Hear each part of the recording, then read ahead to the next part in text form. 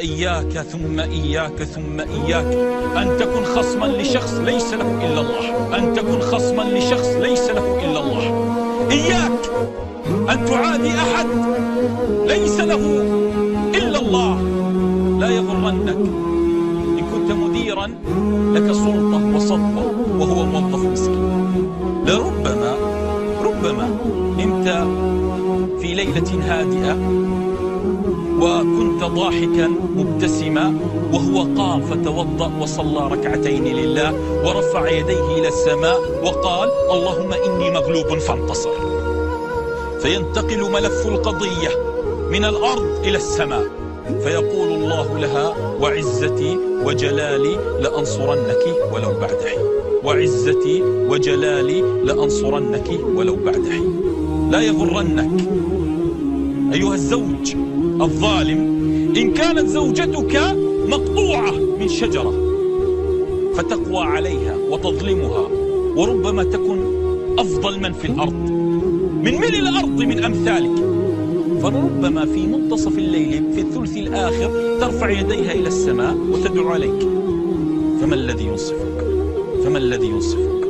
لا يغرنك لا يغرنك أنك أمسكت يد أبيك وهو في سكرات الموت وقمت بتوقيع ووقعت العقود فحرم ببيع وشراء وحرمت إخوتك من الميراث.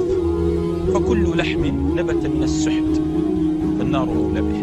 لا يغرنك أيتها الزوجة الفاضلة إن كانت حماتك عجوز متهالكة في بيتك تجلس في الزاوية على أريكتها فتطعميها الأمرين.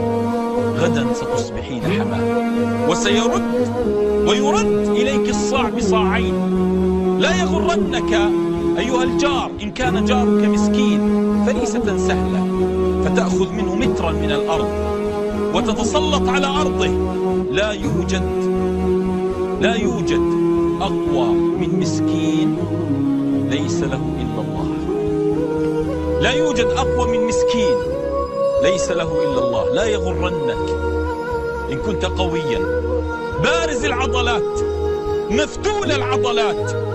وتماديت على مسكين ضعيف ربما ضعيف الجسد ضعيف الحيلة ليس له أحد.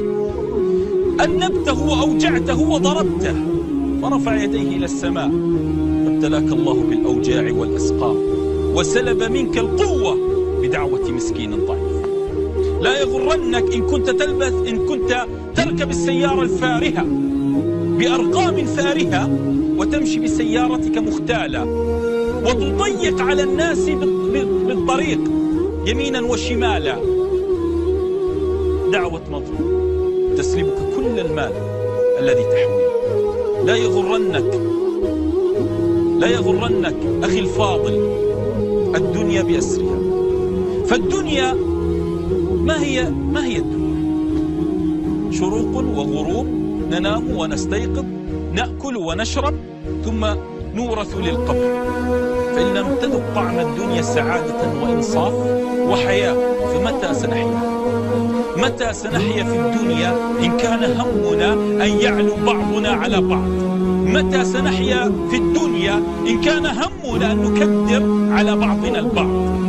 متى سنحيا ونذق لذة الدنيا؟ إن كان همنا فلان وفلانة وما بين وشاية وغيبة ونميمة وإسقاط ورفعة. متى سنحيا أخبرني.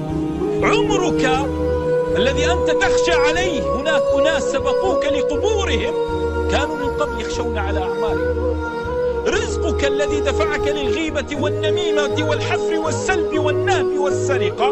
هناك أناس سبقوك إلى قبورهم كانوا يخشون على أرزاقهم تخشاه الآن. من في القبور كانوا يخشونه. وكل ما تسعى له الآن من في القبور كانوا يسعون له. هم خرجوا وأنت ستخرج. هم خرجوا وأنت ستخرج. فمتى ستحيا؟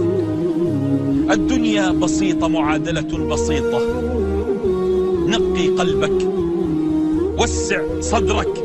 ابتسم وامشي في الأرض ببساطة. ولا تحمل في قلبك على أحد حقدا ولا كرها ولا غلا. هذه معادلة الدنيا. أطب مطعمك. أطب مطعمك. أطب أهل بيتك. انظر إليهم. اسعى لسعادتهم.